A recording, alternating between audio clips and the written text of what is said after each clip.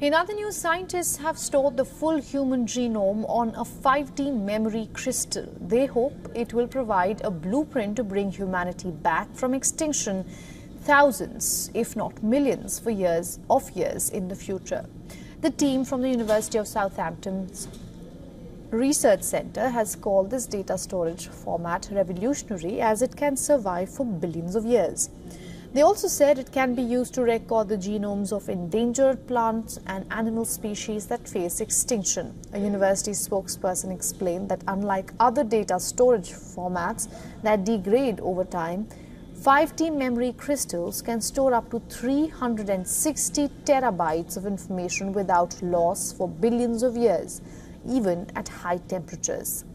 It was awarded the Guinness World Record for the most durable data storage material in 2014. It can withstand the high and low extremes of freezing as well as temperatures of up to 1000 degrees. The team at Southampton used ultra-fast lasers to precisely inscribe data into nanostructured voids oriented within silica. Now they however, say that it is not currently possible to synthetically create humans, plants and animals using genetic information alone. The longevity of the 5D crystal means that the information will be available if these advances were ever made. For all the latest news, download the WION app and subscribe to our YouTube channel.